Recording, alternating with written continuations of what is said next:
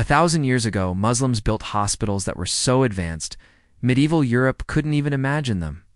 In the ninth century, while most of Europe was still relying on monasteries for healing, Muslims in Cairo constructed the Bimaristan of Ahmad ibn Tulun, the world's first fully organized hospital.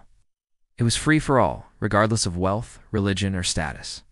Patients would enter through large courtyards with flowing fountains, because clean air and water were part of the healing process. Inside, they would be given beds, clothing, and food, so they could recover in dignity. And doctors specialized in different fields surgery, internal medicine, eye diseases, and even mental health. The hospital was divided into separate wards for men and women and for different illnesses, fevers, wounds, and infections.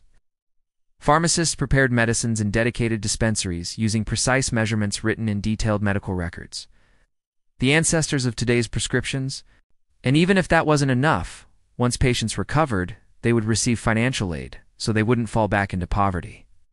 This was centuries before Europe had anything resembling a hospital system. Later, Islamic hospitals in Baghdad, Damascus, and Cordoba would follow the same model. Free, public, and based on compassion and science. These ideas then traveled to Europe during the Crusades, ultimately shaping the modern hospital system we know today. From Cairo's Bimaristan to today's hospitals, Muslim pioneers set the standard for healthcare. For more Islamic history, follow 2 Minute Islamic History.